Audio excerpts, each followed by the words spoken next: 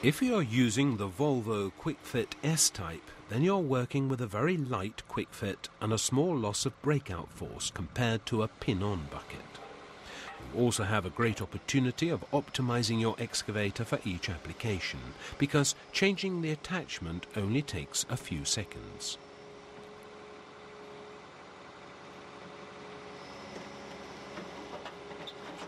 Before changing the attachment, find a level piece of ground if possible. It is always easier to change the attachment if the excavator is in a horizontal position. Place the attachment on the ground or curl in the bucket before carrying out any operations with the hydraulics for the quick fit. Press the safety switch in the cab to operate the hydraulic cylinder. This pulls out the locking wedge in the attachment hook.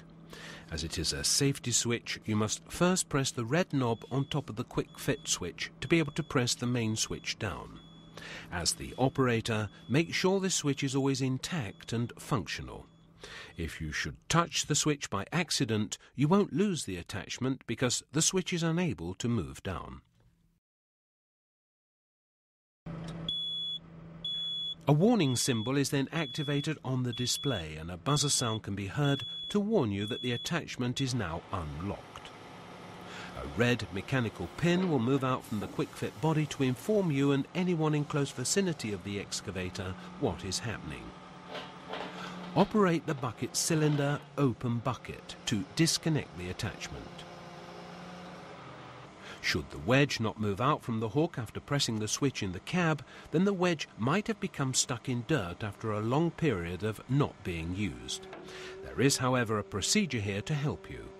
Curl the bucket in until you reach the end position. In the end position, continue to curl the bucket in order to acquire maximum pressure in the locking cylinder.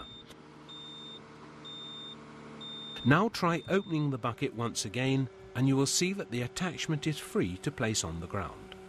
If you are still unable to open the quick fit with this end position operation, then something is wrong and you should contact your dealer for the necessary support. Never take a chance of operating the quick fit circuit if you are not 100% certain about safety. To attach the bucket, curl the quick fit hooks around the two pins on top of the attachment. Make sure that both the attachment and the excavator are standing on a level surface.